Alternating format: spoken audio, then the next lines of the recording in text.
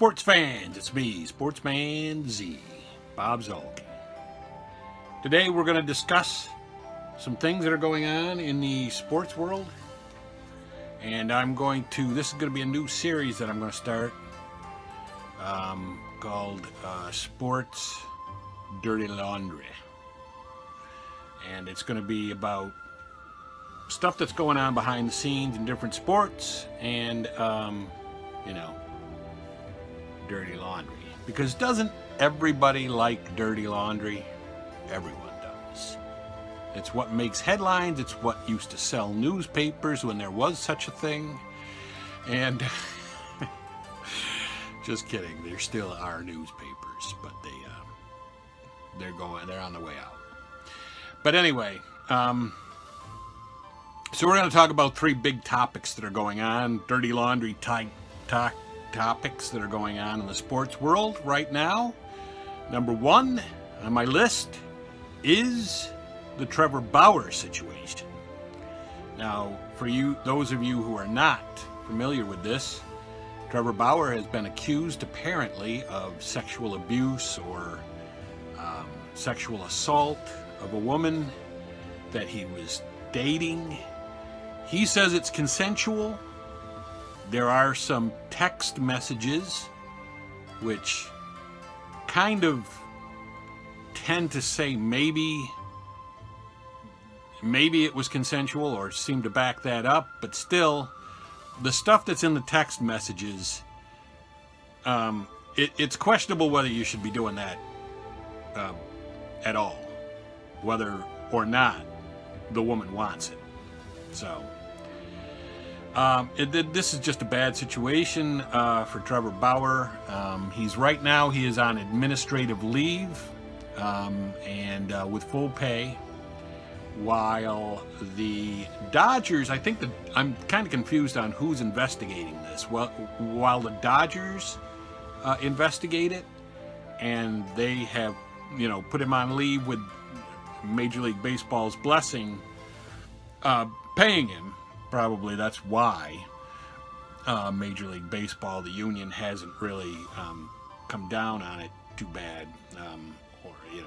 But anyway, so and if they need more time, I'm sure they'll ask for more time to do their investigation, and it's possible that Major League Baseball would grant them more time to do the investigation. So we'll see what that comes up with. Um, I don't really care to speculate on what's going to happen, what's going to end up happening. It's possible he'll be suspended for quite a while uh, for, you know, violating Major League Baseball's conduct um, rules. But um, we'll have to see. And that also probably depends on whether there's uh, legal ramifications through the courts as a result of this or whether there aren't. And moving on to the next topic and closely associated with this is Deshaun Watson's situation.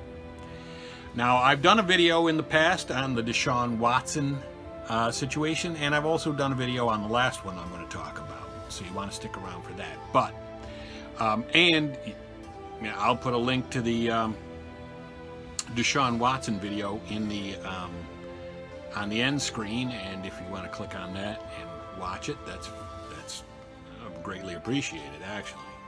So anyway, Deshaun Watson, as you may or may not be aware, was um, accused by, I believe it's up to 22 women, of sexual abuse, sexual assault, um, what have you, in connection with uh, getting massages from these women. Um, so far, it's all been civil cases. There has been no criminal charges filed against him uh, that I know of by anyone. So it's all civil cases. And the relative silence for the last few months, I think, on this subject tend to indicate that the uh, situation is being resolved behind the scenes, uh, probably by payments to the women uh, of various amounts depending on their um, involvement and their um, the credibility of what they are saying, I suppose. And that's probably being worked out between the lawyers right now. And uh, so far, the NFL has taken no action. They've investigated, or and they continue to investigate, but they haven't taken any action. They haven't suspended him. They haven't put him on the commissioner's exempt list. Now, um, unless you're not familiar with that, the commissioner's exempt list is basically a list that a player goes on where they are not allowed in the facility, they are not allowed to play football, they are not allowed to participate in football activities, but they still receive their salary while the NFL conducts an investigation or waits for an external investigation um, or uh, the legal process if something is going through the legal system to be resolved. But they haven't yet done that, and they don't really have to do that yet because training camp is not officially open yet. That opens in July, at some point in July. I'm not sure exactly when, but I, I believe it's in July that training camp's open. So they don't have to take any action yet, and so they they're probably waiting to see if this gets resolved behind the scenes and taken care of. And if it does, there's no need, in theory, for them to do anything. Now, Deshaun Watson, well before these um, charges even came out, said he was unhappy with the Texans organization and he refused to play another game for them. So, you have a situation where there, there's only one situation where Deshaun Watson ends up playing this year and playing for the Texans. The one situation in which um, Deshaun Watson would play for the Texans this year is that these civil lawsuits are not resolved yet. And he goes to camp thinking he's going to participate in football activities, acting like he's going to participate in activities, but hoping to be put on the commissioner's exempt list, and then the NFL doesn't put him on the exempt list. If that happens, he's reported to training camp, he's starting to take uh, uh, participate in football activities, and he's not on the exempt list, and so he would be locked into, in theory, playing this year. He'll probably go to training camp if these lawsuits are not resolved yet. The civil lawsuits. He'll probably go to training camp expecting to be put on the commissioner's exempt list, in which he would then get paid and not have to play for the Texans. But if that doesn't happen, if they don't put him on the exempt list, then he's locked into having to play for them unless he forfeits a lot of money. But if the civil lawsuits are resolved before this, he'll probably refuse to play for the Texans. The Texans will realize that and probably try to trade him once the lawsuits are resolved. But the Texans really can't trade him yet because his value isn't as high as it could otherwise be if these lawsuits had been resolved and were in the rearview mirror and behind him. With those still pending, with any actions still questionable, no team is going to pay the top dollar that they would be able to pay in player personnel, draft picks, whatever, um, for Deshaun Watson if there's still a cloud hanging over him. Um, so so that's where we are with the Deshaun Watson case. He, uh, the, I, I don't think the Texans plan on him at all playing for them. They have several quarterbacks in camp. They drafted a quarterback. I think they're ready to move on from him. They're just waiting for the situation to be cleared up to the degree where they can trade him and get top, uh, you know, a top return for him in a trade, which is not the situation yet because the civil lawsuits aren't resolved. And then that takes us on to our third topic that I'm going to discuss, and that's Aaron Rodgers, who, like Deshaun Watson, seems to be in a situation where he doesn't want to play for the Packers. Although we don't really know that, he hasn't come out and said 100%, like Deshaun Watson did, that he doesn't want to play for his current team and that he refuses to play for his current team. He did skip minicamp, but many players do skip minicamp.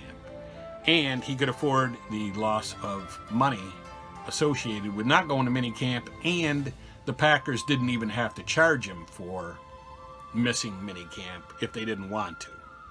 And I'm not really clear on whether they did or not, but they didn't have to. So uh, the big test is going to be whether he comes to camp. If he reports to camp,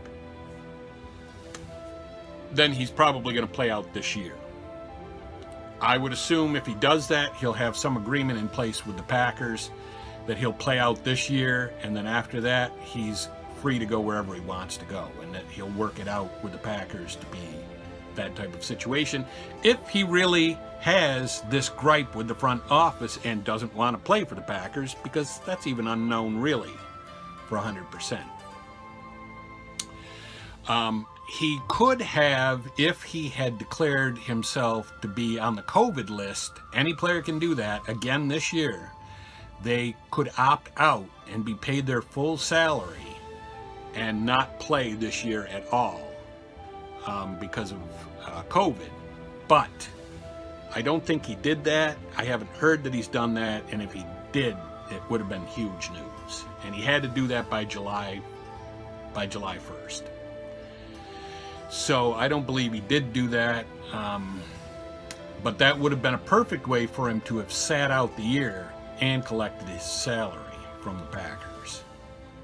The fact that he didn't do that probably, to me, means that he does intend to come to camp when camp opens and he does intend to play for the Packers this year and then see what the situation is after the year or work out something that is in his favor after the year is after the season is over.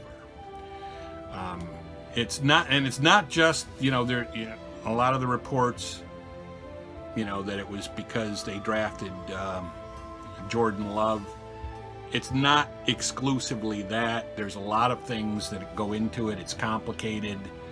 Um, it's that they're not giving him the weapons that he needs, which is connected to drafting Jordan Love, moving up to draft Jordan Love, and not drafting wide receivers or offensive linemen or whatever. Uh, but um, he's just um, he's and the fact that they didn't communicate with him, the fact that they intended to draft Jordan Love. So he feels like he's just an employee, but he's like their most important employee and he's not being let in on their plan, what they want to do. He wants job security, which he doesn't have past, I think, two years. I think his contract is another two seasons, something like that. So he wants to be, he wants to feel like he's part of the decision making, given a long term contract, longer term at least than what he's got, that type of thing. And the Packers are not willing to do that as we have seen. Otherwise, they would have. There were things that the Packers could have done in the past, like restructuring his contract um, to make it go out further years so that they had more money under the cap that they could spend so that they could go get other weapons for Rodgers, and they haven't done that. So there are um, issues between him and the front office that may not be able to be worked out and then um, he will, you know, we'll see what he does. The speculation is, my, my personal opinion is that he comes back, he plays this year, but he works something out with the Packers that says, I only have to play this year, and then I'm gone. And I can go wherever I want to go. But what do you guys think about all these situations? Um, I think that it's, um, you know, the Bauer situation and the Watson situation are just stupid. You make all that money, don't put yourself in this kind of a situation, and those two guys did. And uh, Rodgers, I mean, who knows what Rodgers is going to do. Um, but um, he at least um, hasn't done anything illegal. He hasn't done anything immoral. He's just not happy with his situation, and that's fine. A lot of people in America aren't happy with their situation.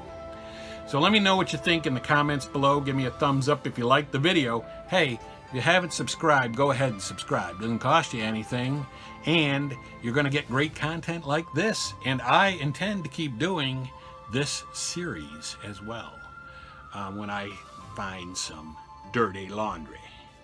Dirty laundry, Don Henley. So um, that is it for me, Sports Man Z, Bob Zuhlke, signing off.